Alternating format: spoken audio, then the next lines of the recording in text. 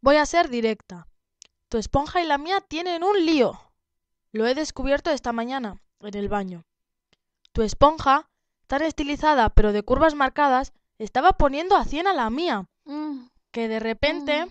me parecía un poco masculina, más tosca en su superficie, como si necesitara un afeitado. Cuando me duchaba, las vi frotarse sin disimulo. Aprovechaban el agua caliente para abrir sus poros como bocas y esfoliarse en posturas admirables. Mi esponja cabalgaba la otra, que se expandía, se acoplaba, se retorcía empapada y pedía a gritos un poco de gel. Hasta parecían oírse gemidos. ah, No exagero. ah. Eso por no hablar de los botes de champú. El mío cuadrado y ancho de espaldas se estaba insinuando descaradamente al tuyo, pequeñito y coqueto. Y mejor no sigo, porque a la hora de secarme me pareció que entre mi albornoz y tu toalla se fraguaba algo. En mi baño están en pie de guerra y tú tan lejos. Ay, me dan una envidia.